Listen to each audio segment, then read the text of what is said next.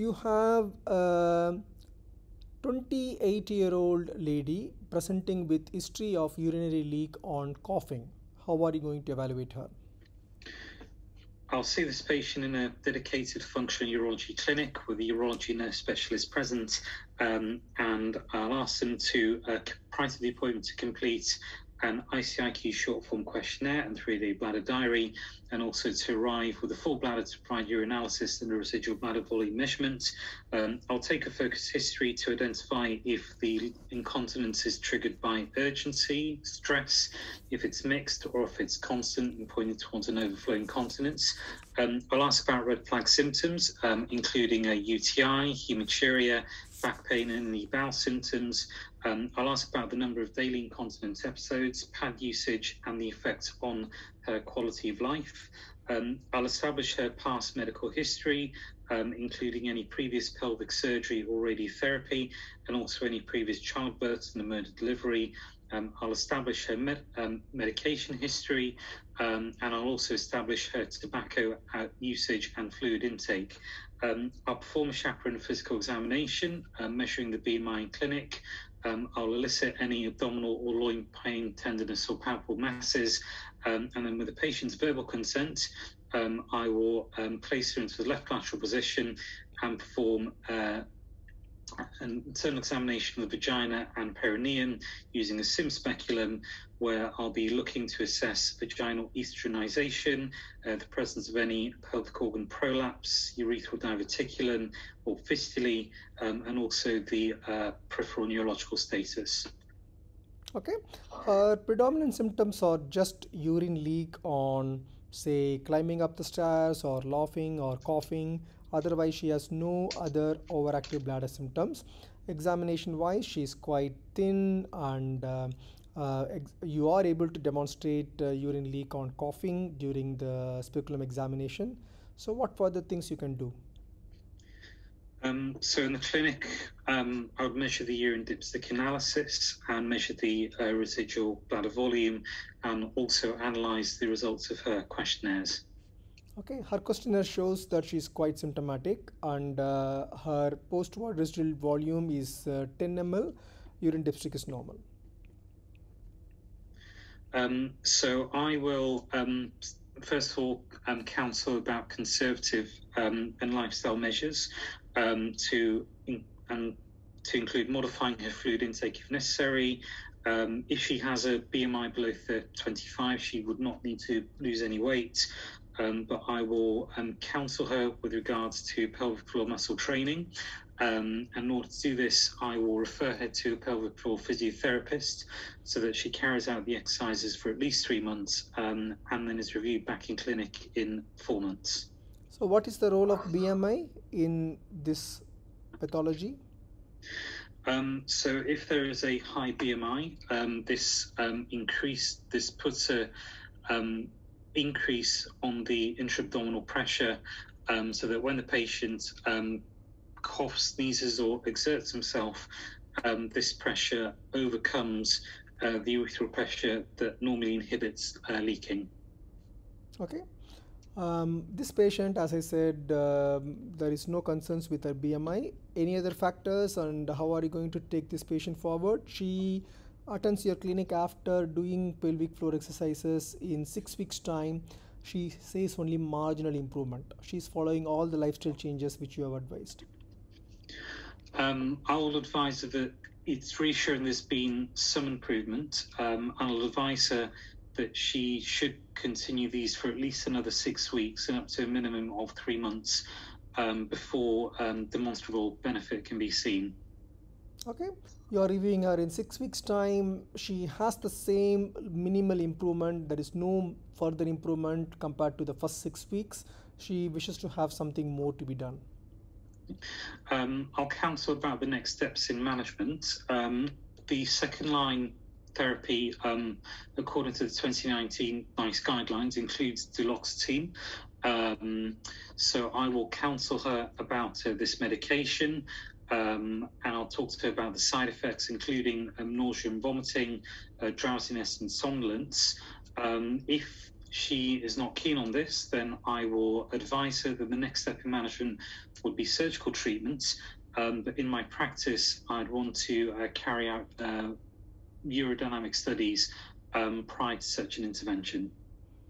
Okay. And um, why do you want to do urodynamics? What is the evidence behind this? Um, so, although the um, NICE guidelines do not advise um, urodynamics prior to primary um, stress incontinence surgery, um, in my practice, I um, would want to rule out uh, detrusor overactivity as a cause of incontinence um, because this would then have an impact in terms of potential postoperative complications um, and ongoing leakage despite um, surgery being carried out. If she has detrusor overactivity, do you expect any other coexisting symptoms other than the pure stress urinary leak? Um, one would also expect there to be um, urgency, um, frequency, and urge incontinence. Okay, but uh, she's presented only with uh, stress urinary incontinence. Okay, your urodynamics shows that our filling phase is absolutely quiet. There is no signs of any detrusor, hypercontractility, or overactivity. She leaks whenever she coughs. Her voiding pattern is acceptable. She voids completely with the bladder emptying. What is your next step? I'll discuss this patient at a local MDT, um, and this will be to discuss the role of surgical management. Um, and the options would in, to be offered to her would include um, autologous fascial sling insertion, Burch colposuspension, um, or intraurethral bulking agents. Um, is there any way you can choose between these three options? Um, so this could be also depending on um, the type of um, stress urinary incontinence, um, a classification, and also whether it's due to intrinsic sphincter deficiency or bladder neck or urethral hypermobility. Uh, the way to determine this would be through performing uh, video urodynamics to obtain a Blaivas uh, classification. So, how video urodynamics help you in differentiating these two conditions? Um, so with video urodynamics, um, a um, cystogram is obtained, um, which um, will then um, help to determine the level of the bladder neck and urethra relative to the inferior border of the pubic symphysis. grade zero, so between grade grade one is the descent of the bladder base less than two centimeters below the inferior border of the pubic symphysis, and this would be more in keeping with an intrinsic sphincter deficiency. Um, grade two is descent of more than two centimeters. Uh, grade three is um, when there is maximal, is when the bladder neck and urethra are already open. Um, and sorry, that would be more intrinsic sphincter deficiency. Um, below zero and one is more hypermobility. Okay, so if your finding is say hypermobility, what is your choice of treatment? Um, so this would be um, the choice of treatment. There would be a Burch colposuspension. Okay. How will you counsel her? Um, I'll counsel her with the aid of a BAUS procedure-specific uh, patient information leaflet, um, outlining the benefits in terms of um, treating her stress incontinence, um, the how the procedure is performed with mobilization of the bladder, and sutures to um, suspend it into a higher position in the pelvis. Um, and I'll outline the um, complications with specific ones, um, including um, failure of the procedure, voiding dysfunction, um, middle or posterior compartment prolapse, UTI, retention needing ISC, and also de novo urgency. What do you mean by middle component prolapse? Um, so this would be, um, think, you uterine prolapse or posterior compartment prolapse would be also a rectocele. Okay. What sutures you will tie? What suture material you will use? Um, so I will use a um, 3O PDS, which is um, an absorbable suture but long, longer acting. Okay. So what structures you will suture? Um, so I'll suture the bladder wall. Um, I can't recall the other structures to su uh, suture to. Okay, we'll come back to that. In case if your urodynamic findings are suggestive of uh, intrinsic sphincter deficiency, what is your choice of surgery? Um, so this would be a autologous fascial sling. Okay, we'll have one more question. So what uh, what types of slings you will choose? Why are you not selecting the usual TVT TOT? Um, so my choice will be a graft harvested from the uh, rectus fascia, measuring 10 by 2 centimeters. Um, I'll avoid the um, synthetic mesh um, because there's currently a pause on the use of these in the NHS due to the findings um, of the Cumberlege report and the um, incidence of uh, mesh complications. Okay, any other sources of autologous fascia harvesting? Um, I think from the fascia lata and that.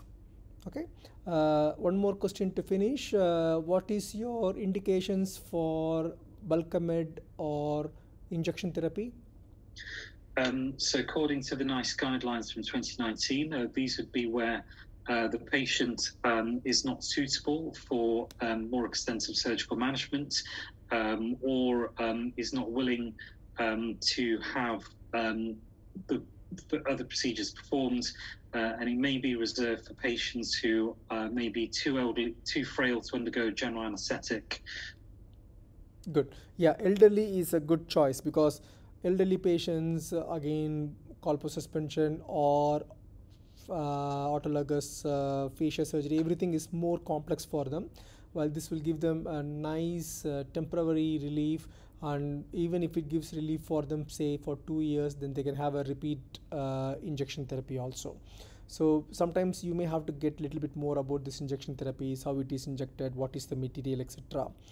Yeah. Um, second scenario much much better but as usual very straightforward scenario again uh, you are mentioning ICIQ short form ICIQ short form is a bit of a very generic term so try to specifically mention ICIQ OAB ICIQ uh, incontinence form ICIQ male. LUTS so try to uh, expand it further to say which ICIQ because there are at least 5 to 7 ICIQ short forms available now um, again, the controversial topics, the same discussion like how we discussed in the first scenario. NICE guideline says there is no need for stress urinary incontinence in pure sorry no need for urodynamics in pure stress urinary incontinence but in my practice i prefer to do that because number one it will help me to differentiate the intrinsic sphincter deficiency and hypermobility which is a good yeah. point that's so yeah. so then in that I mean, again, it's not specified NICE guidelines, but then for stress incontinence, you'd be looking at video urodynamics, wouldn't you? Yes. you need that cystogram. Yes, instead of uh, cystogram, it's a video is not a very big addition. Most of the units will have a kind of a C-arm in situ, and yeah. uh, only the voiding phase you're just going to screen it to document it in video. So if you are substantiating your practice, which is slightly different from NICE guidelines, you need to really bring a strong point in that.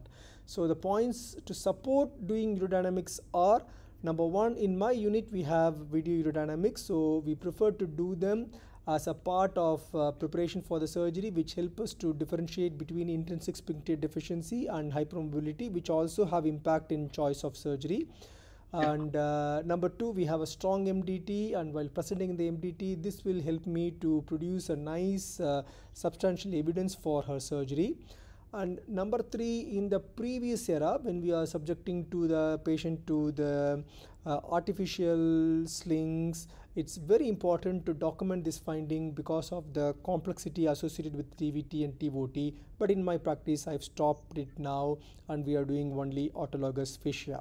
So all the more reason you have good practical clinical support to do urodynamics. But you can say the NICE guidelines according to the NICE guidelines if the patient has symptomatic pure urinary incontinence usually the urodynamics won't add anything because we expect the detrusor to be good Okay? Yeah. Yeah. Good.